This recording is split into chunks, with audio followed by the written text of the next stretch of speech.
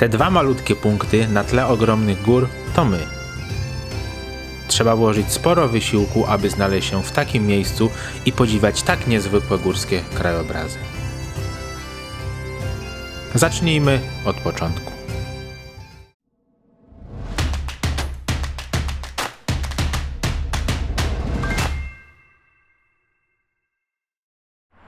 Cześć, tu Patryk. I Milena, wiecznie wolni.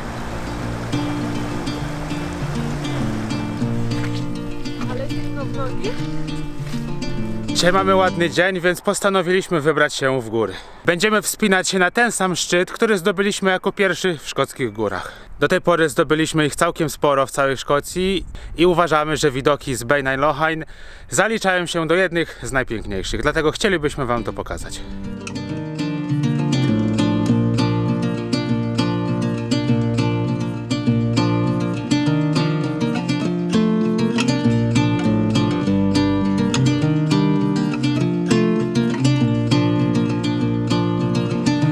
Już prawie półtora godziny pod górę, także nogi powoli odczuwają zmęczenie, ale widoki rekompensują wszystko.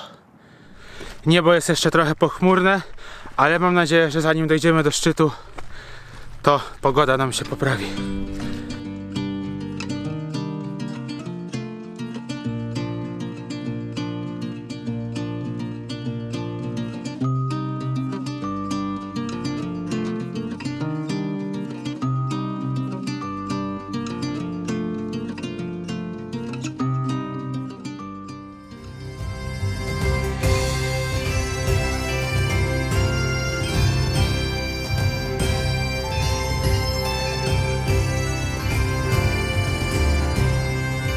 No i szczyt widać już za mną, mamy słoneczko, więc widoki na pewno będą bardzo fajne.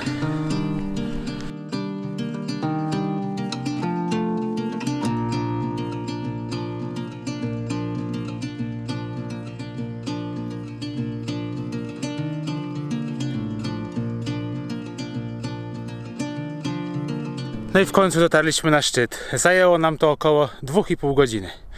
Zrobimy sobie teraz krótką przerwę, uzupełnimy energię i będziemy schodzić na dół. Przed przeprowadzką do Szkocji nie mieliśmy zbyt wielkiego doświadczenia w chodzeniu po górach. Byliśmy zaledwie raz w Karkonoszach. Do tego można dorzucić spacer na Morskie Oko i wjazd kolejką na Kasprowy Wierch. I to tyle. Bain an Lochain udało nam się zdobyć bez żadnego problemu. Byliśmy zachwyceni widokami. Jedna wycieczka sprawiła, że zakochaliśmy się w szkockich górach.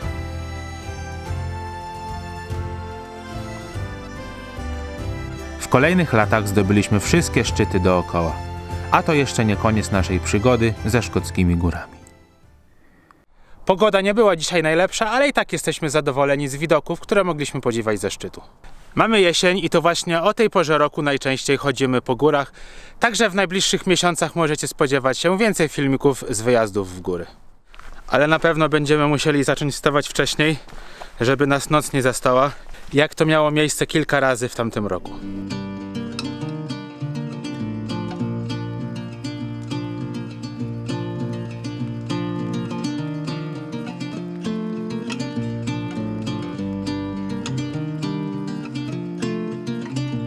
Jesienią w Szkocji dużo częściej pada deszcz, a oznacza to, że na ścieżkach znajduje się mnóstwo błota.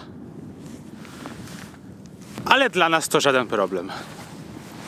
Zostało nam jeszcze przejście przez rzekę i jesteśmy na parkingu. Mam nadzieję, że tym razem żadno z nas nie wpadnie do wody.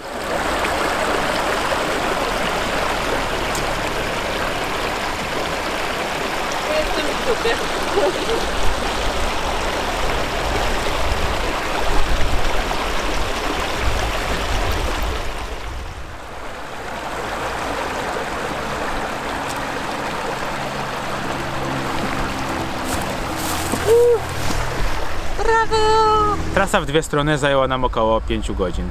Trochę się zmęczyliśmy, ale mimo wszystko było warto. Powoli będziemy kończyć, także jeśli chcecie być na bieżąco z naszymi podróżami, to pamiętajcie o subskrypcji naszego kanału. Na razie.